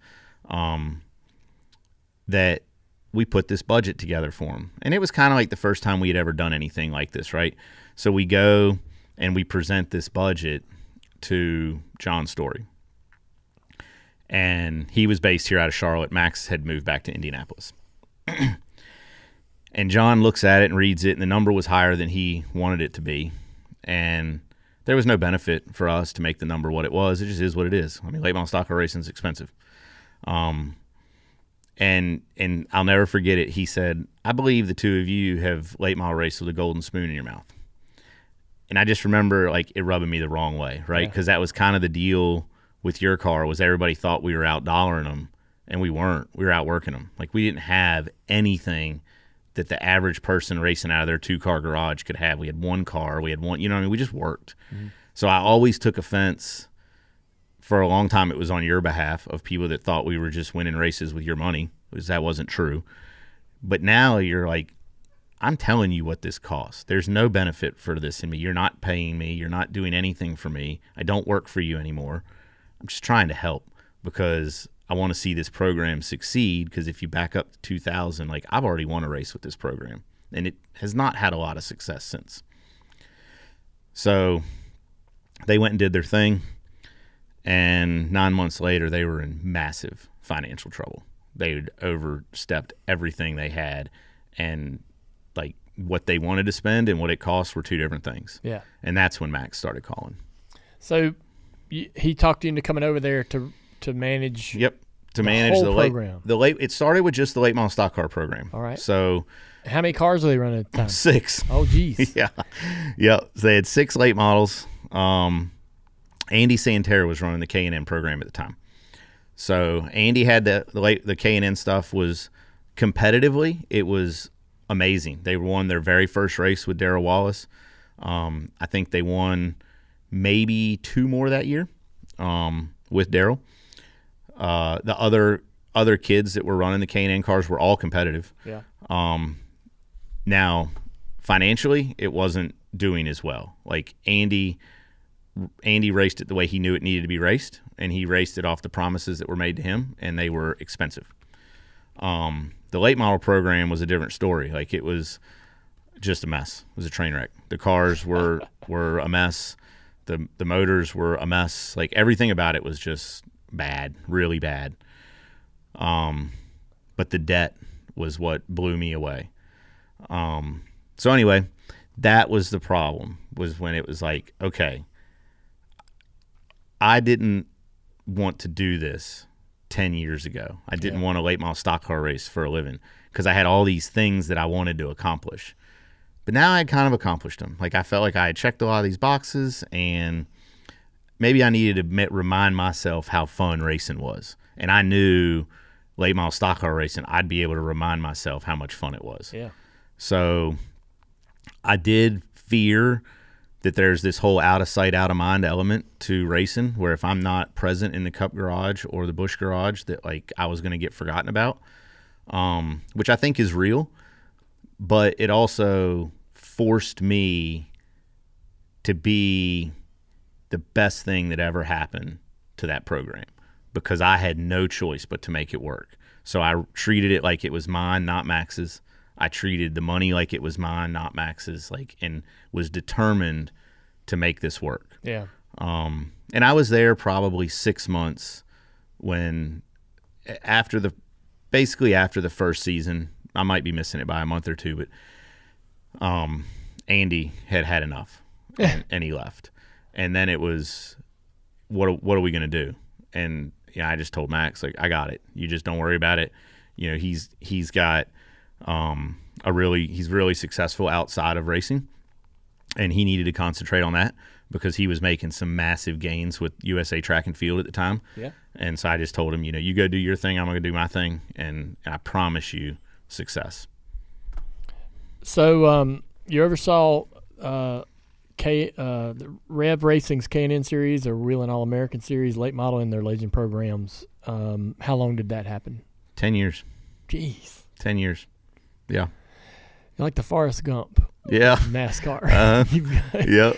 like 10 years. How did you? It's like you lived 80 years already, I know. right? I started when I was super young. Yeah, Yeah. And so Rev Racing, you know, it it is a reputable, functioning, successful program. It goes to the racetrack, it runs well, yeah, it wins races, yeah, and it serves an incredible, incredibly important purpose in the NASCAR industry. yeah. Um, I mean, they've won two or three truck races this year, and yeah, half the cup races with their graduates. yeah, and they're creating opportunities. Mhm. Um, and t- so talk about that. So, as someone who has lived that program, Mhm. right? Talk about how important the purpose of that program is to give these drivers these opportunities.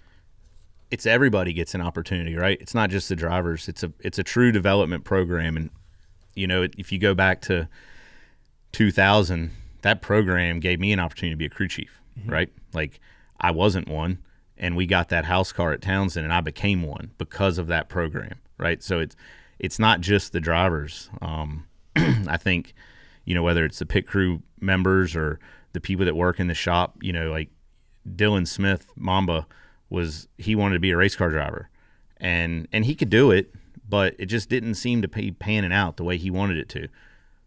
But we knew there was a place for him in the sport, so we made him a mechanic and we taught him that and had him. He he worked for me for years, um, and look at him now. Yeah. Right. Like it's it doesn't necessarily, and that was kind of the thing I tried to explain to every parent and every driver that came through there. Your place in the sport might not be in the seat, right? And maybe that was something that I learned from TJ, but there's a place for everyone here. You just have to find it, Yeah. and and depending on how hard you're willing to look is whether you'll find it or not. How, how do you make the decision to to leave? Uh, it was tough. Um, I had so no intentions of ever leaving. Like I had, I had, um, I had seen it go from in debt to debt free. We won championships. We won races. Like, you know, you along the way, I've been fortunate to win some cool stuff. But you go to South Boston and you win a late model stock car race with a 16 year old girl that Philip Morris and Lee Pulliam and Peyton Sellers are all in that race and you beat them. Like, it's fun. Like, it's fun to know that, that you provided an opportunity for somebody that was not there without the program and the people that work there. So, I had started um, spotting more and more. Just I started doing it even before I moved to Charlotte, but it was just here, there, gigs. and Joey Meier somehow through our working together at DEI, um, he reached out and asked me if I wanted to start doing all the second spot and stuff with him. So it was with Brad, you know, Watkins Glen, Indy, whatever it was. That kind of parlayed into the one-off Xfinity races for Penske. Um, so now I kind of had my foot in the door. Brad was actually really helpful with the program. You know, there was things he could donate that that he would through his truck team, and he was big help.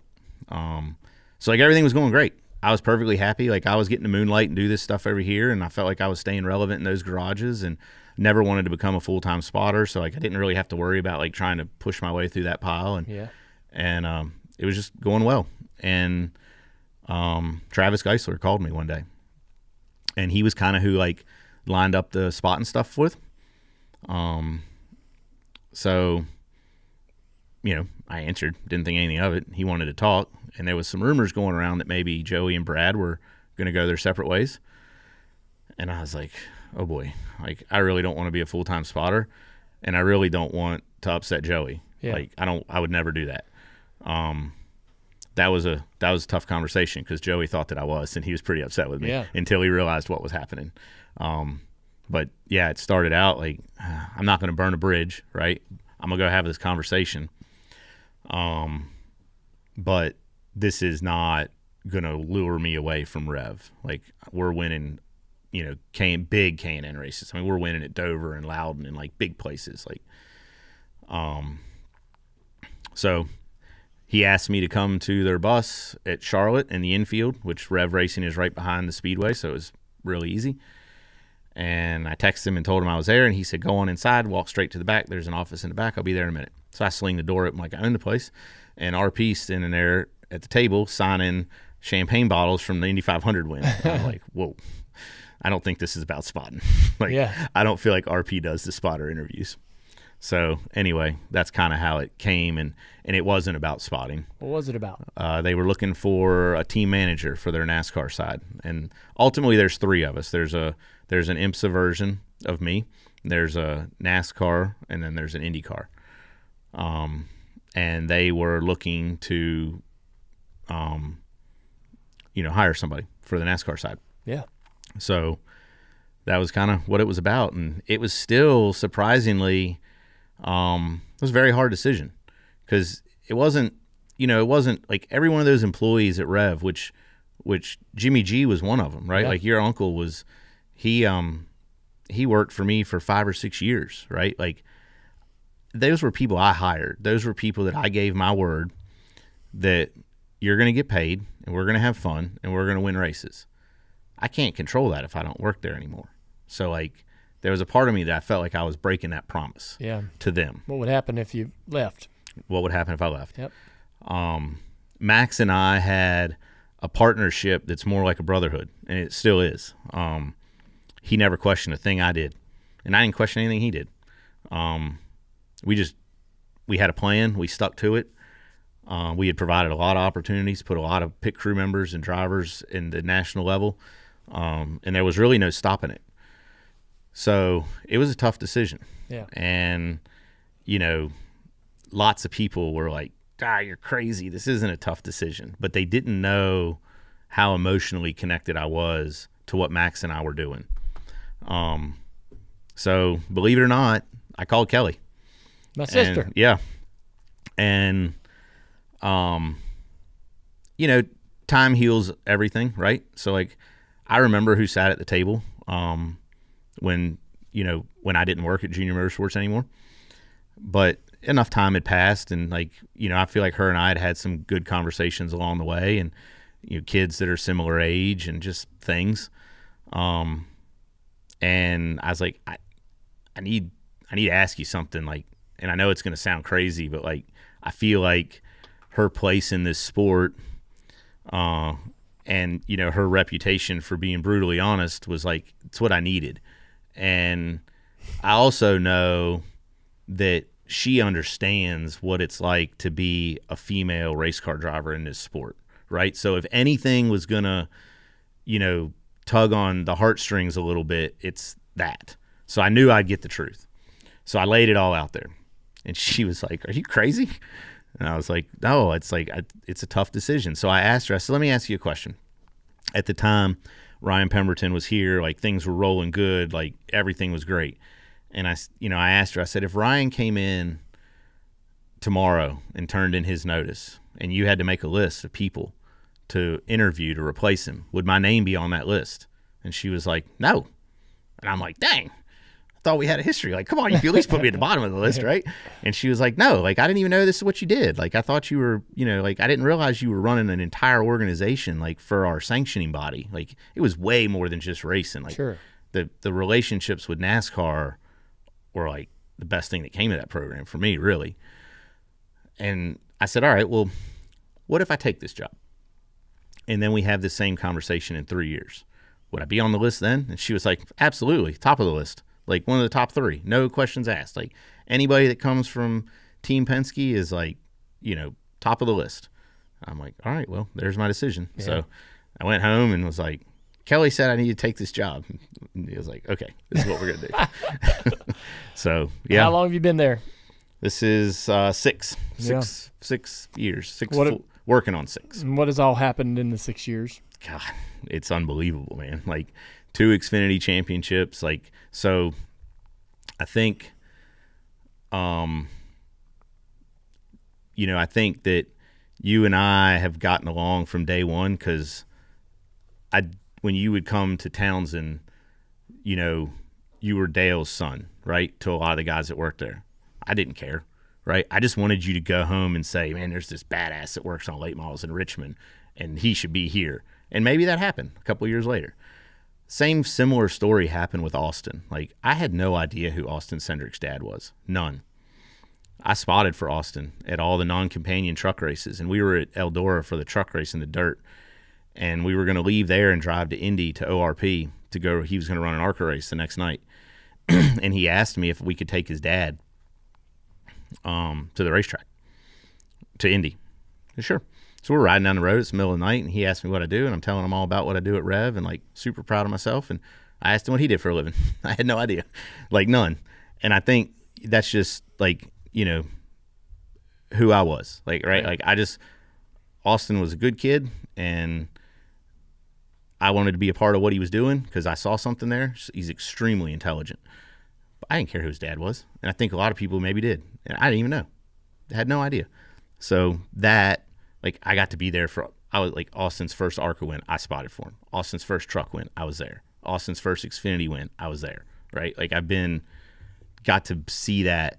So it was like this still this development leg that I've found this niche in. Yeah. Um, but man, since then, Daytona 500s, Indy 500s, Rolex 24s, like things that were completely unimaginable to a kid sitting in the wooden bleachers at Langley Speedway have happened. Yeah. I remember um, coming to the cup race and seeing you walking around in the in the pits wearing a wearing black slacks and a button down white co- collared shirt with Penske on it, thinking, "How in the hell?" Mm-hmm. You know, like that is a long way from home. It's a long way from home. Um, you know, your story is probably not unlike a lot of people in the industry, but it's it's an it's an easier one to tell. Um, and I think it does answer a lot of questions for people out there who are young, people that are that kid that you were when you were working Mhm. over at Townsend's, wondering, man, how am I gonna, how, what is the path? Like, how do I get there? It seems impossible, improbable. I don't even know where to begin. and so I have such a hard time telling people how to begin, right? What what to do. Mhm. I mean, literally, man, I woke up and I was plugged in, Right. Because of who I am.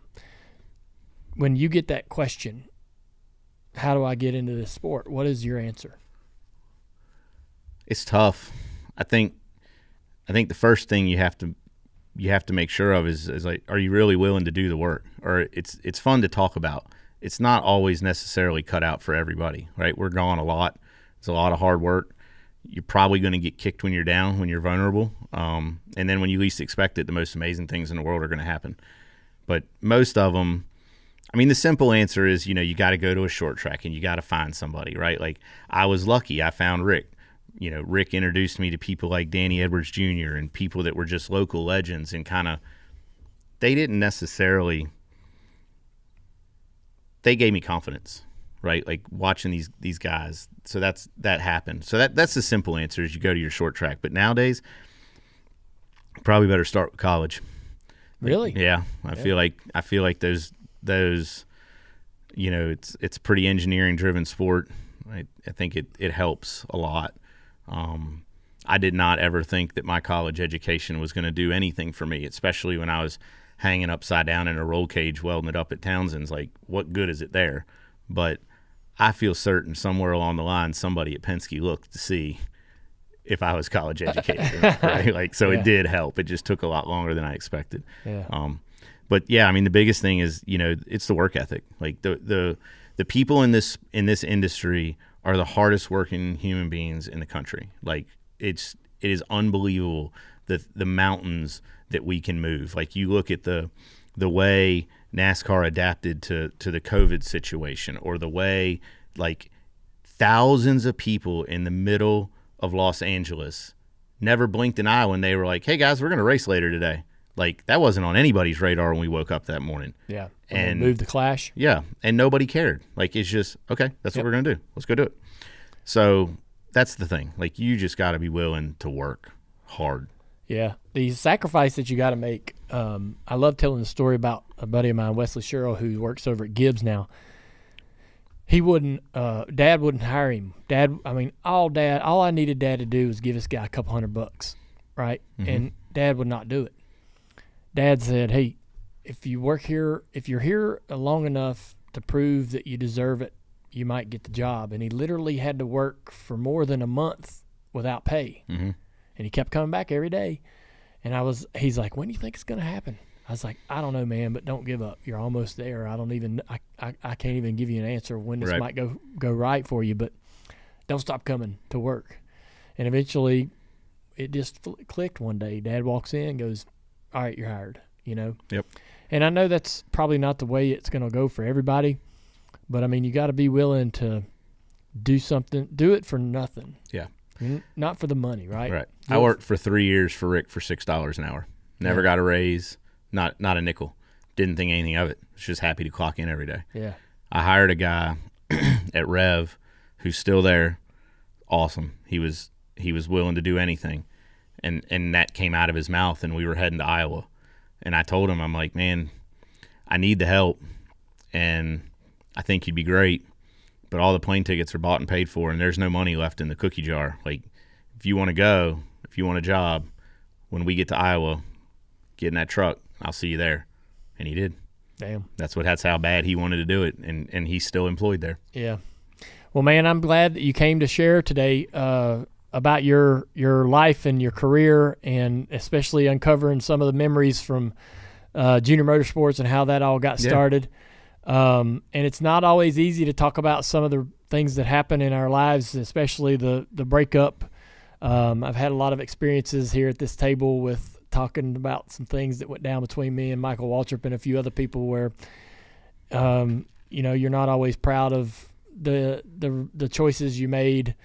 Um, but I'm glad that we are friendly and close enough that we can do that. Yeah. And I'm gonna tell you, man, I when I started seeing you um, and hearing about these opportunities you were getting, you you have to know that um, you had a fan in me wanting to see you have that success and to know where you've gotten today is just incredible. Um, but I think that it's motivation for anybody who listens uh, that the the opportunities, if you're willing, like you say, to put in that work ethic, are limitless. Mhm. And don't be scared to go anywhere because there's not really many places that you didn't end up Right. right? And there's not many scenarios and, and working environments in the NASCAR industry that you didn't find yourself in. And, um, you know, so that's pretty impressive. Um, I appreciate you, your uh, influence on, uh, I mean, that junior motorsports doesn't exist without you having, uh, you know, you having the ability to help us get that off the ground. You've influenced us in a positive way. Even today, we still ride the wave of of of how you helped us get our stuff going in the right direction. Yep. We had a lot of fun, won a lot of races together, um, and who know I. I I don't. I, I for some reason I feel like you're going to be at Penske. You'll be a lifer there for for as long as you want, and um, it'll be surprising, I guess, to see you know where you end up 20 years from now, uh, maybe running the whole thing. Phew. 20 years is a long time. Man, how old are you? Uh, 46. 46. Yep. You can do it. Yeah. Yeah. No, I mean, it- you it- see the rest of them guys around there, you know they're older now. Oh yeah, oh yeah. No, it's a great place to be, and, and I don't really want to envision myself anywhere else. Yeah. for sure. Well, you got a hell of an opportunity to to make that uh, something special. Yeah, and I do take a lot of you know. It, there's a small part of me that you know, anytime one of your cars wins, no matter you know, there was a little bit of time where when it, it took a while, so I did in, I did take pride in that, but it was a little bit of time where when you were winning all these late model stock car races, it was like, God dang, I think I've been outdone. Like we didn't win a national championship over there, but we weren't allowed to race for one either. Yeah. Um, but it doesn't, you know, there is a sense of pride that I don't, however many win banners you stack in this shop, like there's still only one first one. So Yeah. that's kind of cool. Well, I love the fact that you were part of our um, our beginning, and um, it's interesting that you made the point to not burn any bridges because literally, like all the people that you came in contact with throughout your career, that you know that you knew some way somehow, TJ and and and Joey and and Max Siegel and you know every you've done a really good job of you know, even though you've sort of, you know, you've had some unfortunate moments in your career, you've worked in a lot of different places. Those people that you had those relationships with would at times call you, right? And and and say, "Hey, man, I I know a guy that can do this job for us." Um, that says a lot about your character.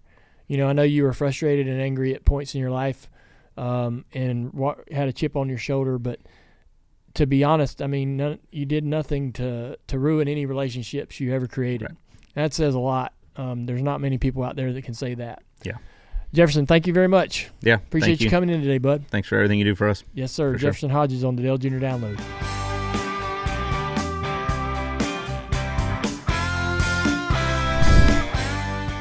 All right, so Jefferson Hodges on the Dale Junior Download. Um, you know, I I really am glad I was able to sit here and, and hear that whole story about his career. And um, I want to thank Ally for supporting us here at at Dale at the Dale Junior Download and for and at Dirty Mo Media. Ally does a great job, uh, you know, in this industry and in our sport, and and they're responsible for bringing our guest segments every single week. Um, and no matter what you're saving for, whether it's race tickets, a brand new car, a new house, doesn't matter. Uh, we're all better off with an ally. And I would say that Jefferson Hodges is definitely an ally. The um, the one thing that was, you know, not always easy is when you are sitting here with a guest at the table and and you have to talk about something that maybe didn't go as well as you'd hoped and certainly his the final end of his tenure at Junior Motorsports was an emotional one for him. You could hear it. He's still a bit, you know, disappointed by it. Um, and I'm glad though that uh, we are still friends today. Um, I'm sure he wished I would have handled things differently. I'm, I'm sure he wished things would have turned out differently. I'm, i think that um, I certainly uh, may have done things differently with the experience I have today. But um, knowing everything we knew back then, we were doing what we thought was the right thing to do. And um, but it, it, it doesn't ever get easy uh, when you're sitting here and you have to kind of cover that part of the the conversation or that part of the the past. Um, but Jefferson is a, a he's a great example of just you know a grinder that eventually found his place. Um, I meet drivers, crew chiefs. I meet people of all kinds of walks of life that come into this industry and they have this vision of where they want to go and who they want to be. And there are times when you know that that's not going to work out. You know that they're never going they're never going to achieve that vision. They may find another space in this industry where they can exist and make a living. And TJ is a great example of that. He had the talent to be a driver, and it just all the pieces of the puzzle and, and the breaks didn't go that way, right? And he found a new lane. And um, Richard Boswell is another example, right? Richard Boswell drove our Pro Cup car, and God, he wanted to be a race car driver so badly.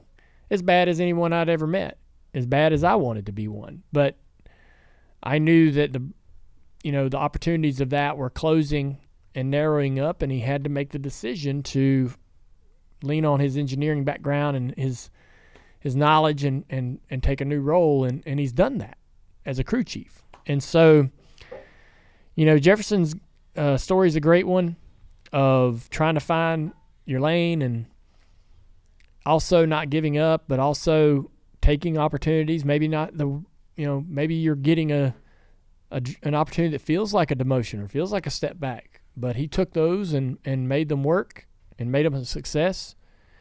And um, it's pretty impressive. Um, and so glad he was able to come in today and tell us about that. Uh, there's a there's a lot of guys like him in the industry that have those those kind of stories, but it was a fun one for me today, um, and it brought back a lot of memories. a lot of that startup around junior motorsports, the late model car, the Pro Cup team, a lot of that stuff, man. I was wide open with my own career, um, raising hell with my friends. You know, I wasn't in that shop every day seeing what was going on, and so it was great to kind of be reminded on some of the things that we did and how things went, um, and even my my my mindset on like where they should race and what they should be doing. But um, pretty fun. But uh, let's get to the white flag. Uh, on on Monday, the teardown, obviously with Jeff Gluck and Jordan Bianchi dropped. Actions detrimental with Denny Hamlin came out as well, and door bumper clear. Um, yesterday, door, uh, Dirty Air, uh, that show is out. Larson, Christopher Bell, and Connor Zilisch all called in. And today, Speed Street will drop with Conor Daly and, and Chase Holden. Tomorrow, Dirty Mo Doe with Steve Letarte Gambling is legal in North Carolina. I'm hoping that, you know, that maybe – uh, add some value to Dirty Mo Doe and people can find some more um, value out of that show. I think the the information that Steve shares with us every week uh, has been pretty incredible. And uh, they're going to be previewing the Bristol race. Also, don't forget our Thursday show, our episode of the Dale Jr. Download Reloaded will be out. Always a lot of fun. You never know who's going to call in or what these guys and girls are going to be up to a lot of shenan- shenanigans on that show. And I've actually found myself when I'm not calling in, I'm actually finding myself listening, uh, just because of the entertainment value is pretty high. So, um, uh, yeah, should be a lot of fun this week on on on uh, Dirty Mo Media. Also, um, one of the things I want to give a shout out, Dalton. I guess you're um, some whoever's posting at the beginning of the week. Uh, it's sort of a, a, a JPEG of of our you know, our week full of content. Man, I'm loving that. Yeah. It's like a TV guide. Thank you very much. Uh, very appreciative. It just helps everybody. It's a reminder, all the things we have going on, plus when it's happening, so people can make sure they're they're tuning in. Buster's trip to Victory Lane. Also, the board book is, and I have this right next to me on the table. Um, I asked for this board book to be made. They weren't. I don't think they were going to make this board book, but I got a three-year-old, and she's not into the big long-form stories that that Buster has been here in the in the past several uh, versions. So, thought maybe we could get a board book for those those toddlers out there. So that uh, board book is you're able to purchase your copy today everywhere books are sold. Um, and also uh, for the Dale Jr. Uh, Foundation, if you want a chance to spend seven days on Lake Norman in our family's lake house, the Dale Jr. Foundation's annual vacation at Dale Jr.'s uh, Lake House raffle is underway. Now through April 29th, purchase your raffle ticket for $10. You can win a stay at the lake house. Uh, there's boat rentals uh, provided, tour of junior motorsports as well.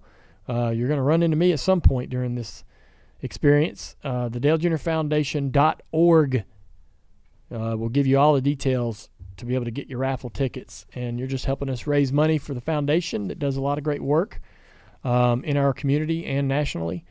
Um, so thank you for anybody who who purchases a raffle ticket for that. That's the Wednesday show. Um, looking forward to Bristol this weekend. Looking forward to everything else going on um, here at the uh, Dirty Mo Media, and hope everybody has a great week. We'll see you.